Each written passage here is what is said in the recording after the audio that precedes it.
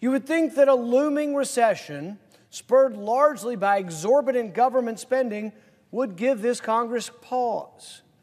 But instead of taking a minute to consider what a responsible federal government budget looks like, we are instead placed behind the barrel of a gun, forcing us to choose between letting government expire or blindly passing a $1.7 trillion spending package that not only does not balance, but in fact spends over 10% more than last year.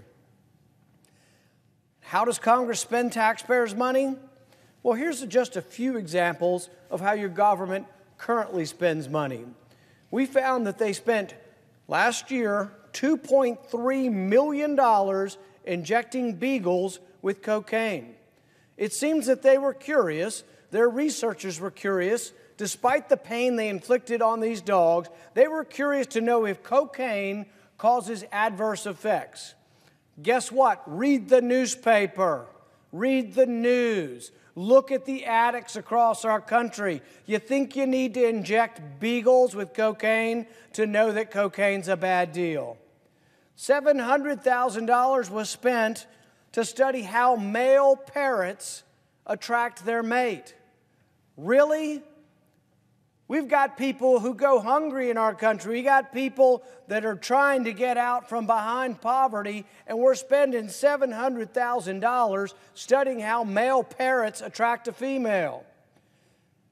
We spent $187,000 to study whether or not dogs help kids cope. Of course they do. Ask any pet owner. Any pet owner could have told you, and we would have saved the taxpayer $187,000.